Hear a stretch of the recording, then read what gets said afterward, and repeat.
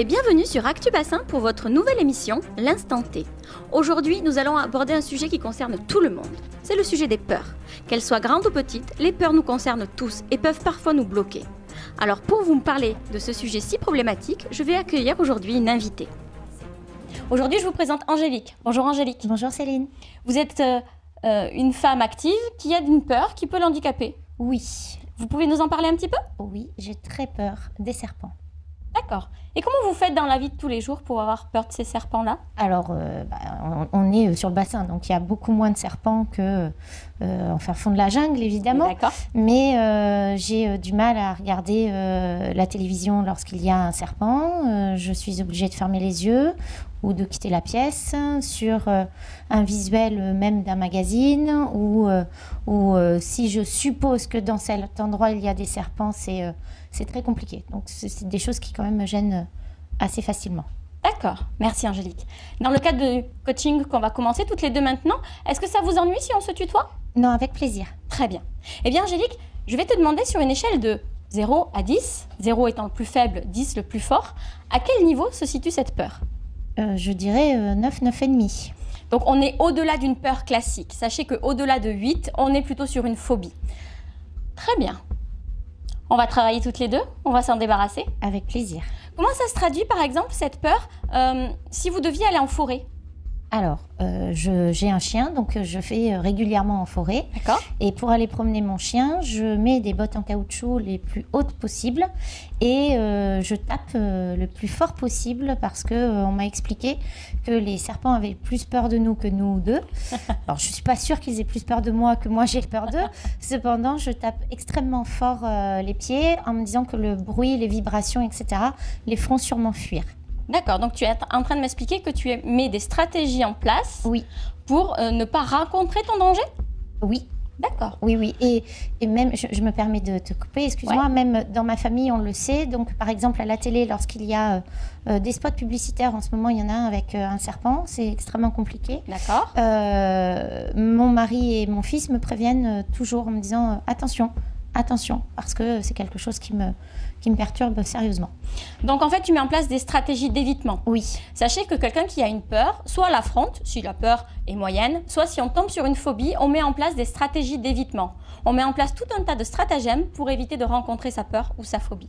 Là, Angélique nous explique qu'en forêt, elle fait du bruit pour pas voir un serpent, ou à la télé, tout le monde est au courant et la prévient qu'à un moment donné, il va falloir qu'elle ferme les yeux. Moi, mon but aujourd'hui, Angélique, c'est que tu puisses voir un serpent. Aujourd'hui, c'est compliqué pour toi de voir un serpent mmh, C'est impossible.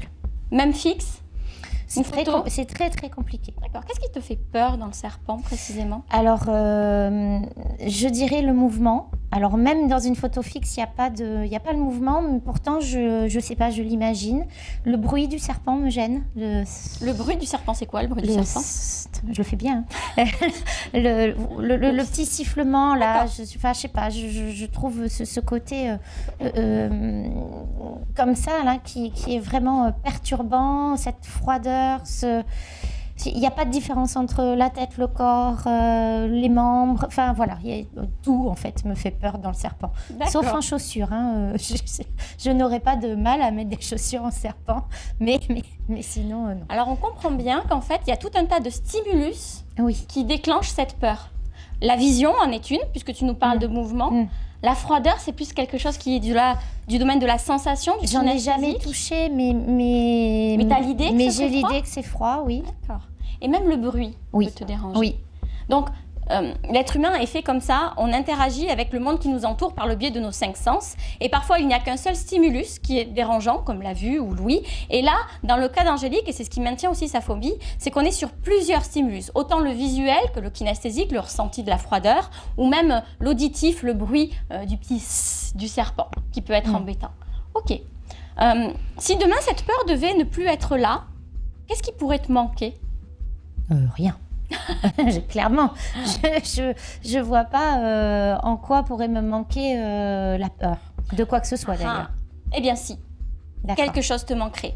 Parce que l'être humain est bien fait, on ne fait rien par hasard, on ne fait rien si ça ne nous apporte pas quelque chose de positif.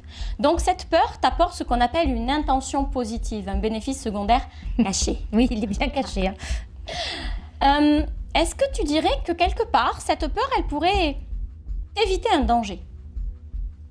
Ben, Elle m'éviterait de le voir ou de ou d'être mordu ou j'en sais rien. D'être mordu, c'est quelque chose de dangereux pour toi? D'être touché, d'être approché, enfin tout ça c'est dangereux. C'est dangereux? Mm. Donc le fait d'avoir cette peur-là, ça t'évite de te mettre en danger? Je pense, oui. D'accord. Donc on peut voir que l'intention positive de ce comportement de peur, ça pourrait être chez toi une mise en sécurité de ta propre personne. Mm-hmm. Ok. L'intention positive, mise en sécurité. Comment est-ce que tu pourrais euh, adopter des comportements, d'autres comportements que cette peur, qui pourraient te permettre d'assurer cette sécurité, tout en te permettant de potentiellement rencontrer un serpent? Euh, bah, éviter d'y aller ou ça c'est une stratégie d'évitement.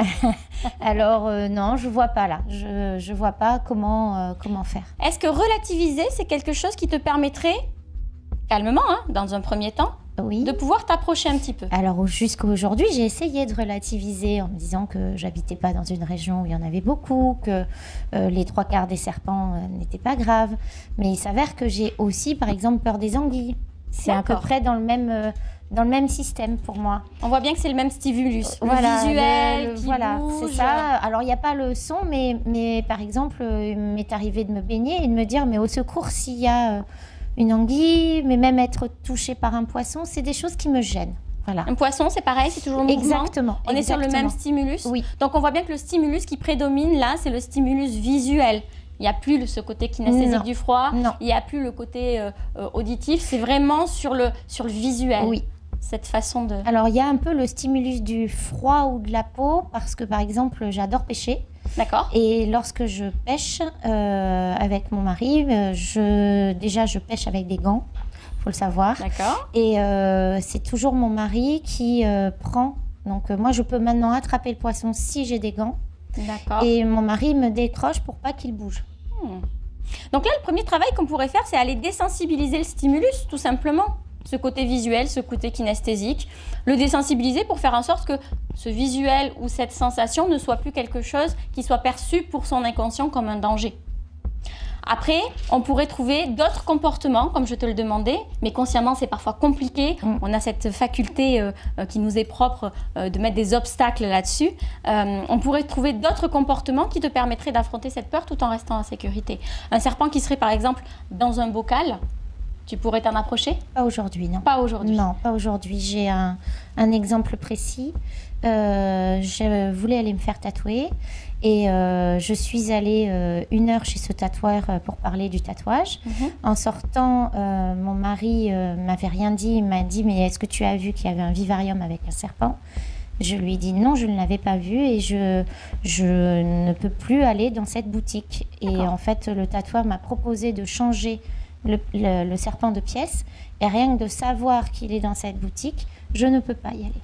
Donc là, on a encore une mise en place d'une stratégie d'évitement. Totalement. Exactement. Ok. Alors, il y a peu, je lui aurais pas dit au tatoueur. Parce qu'il y a déjà un progrès, hein, où j'ose dire euh, euh, j'ai peur et j'y arrive pas. D'accord. Bien.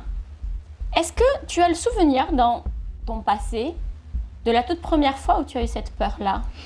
Alors, euh, j'ai un souvenir de demander à mon père de regarder sous mon lit, euh, vérifier s'il n'y avait pas de serpent. D'accord. Mais je n'ai pas de souvenir d'un choc ou d'un traumatisme spécifique avec un serpent. D'accord. Vers quel âge euh, tu as, as, ce souvenir-là Je dirais vers 6-7 ans, quelque chose comme ça. ce que je par rapport au lieu auquel je pense. Donc euh, voilà. D'accord.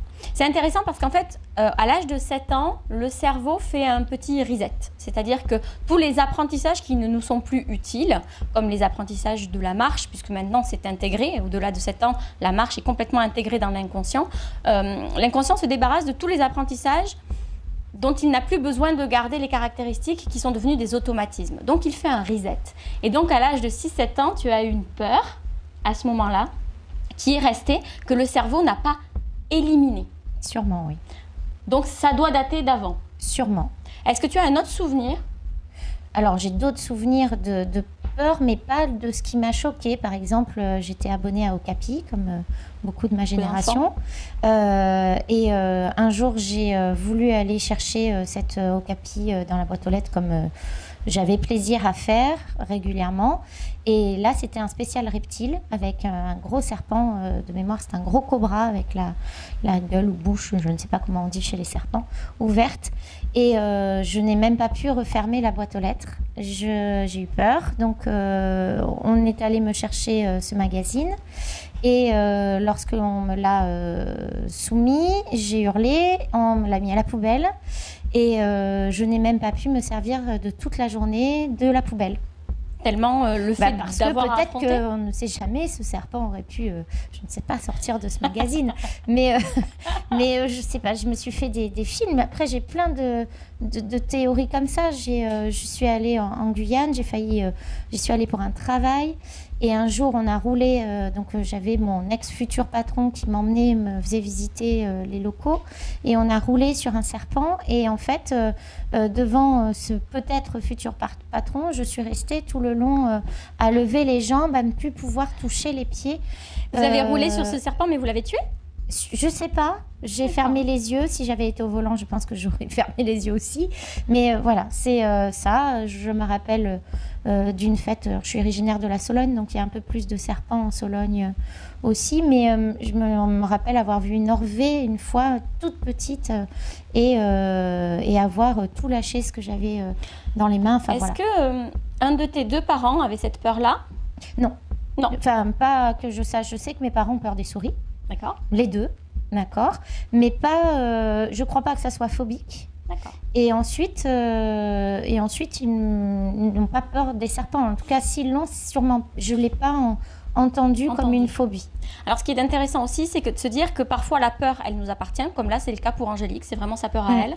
Parfois, c'est une peur qui nous a été initiée par un de nos proches, nos parents, nos frères, nos sœurs, nos tantes, nos oncles. En fait, la peur, euh, la plupart du temps, quand elle est initiée par un de nos proches, elle est plus en loyauté envers l'apprentissage de nos proches. C'est pas une peur à nous. C'est juste que comme la figure qu'on représente, une figure d'autorité, euh, a cette peur-là, étant enfant, on se dit que si papa ou maman a cette peur, c'est normal que nous aussi on ait cette peur. Donc il y a une loyauté qui s'installe entre l'enfant et l'apprentissage de son parent. Ce qui n'est pas le cas pour toi là. Non. Ok. On va passer à la phase où on va enlever cette peur. Avec plaisir. Ok. J'ai un peu peur quand même. Hein. Bien, et eh bien maintenant que tout le monde a compris comment on faisait une peur pour s'installer, comment on la vivait, comment elle se déclenchait, eh bien je vous propose dans le prochain épisode de pouvoir assister à une transhypnotique pour regarder comment on se débarrasse de cette peur. Merci et bonne fin de journée.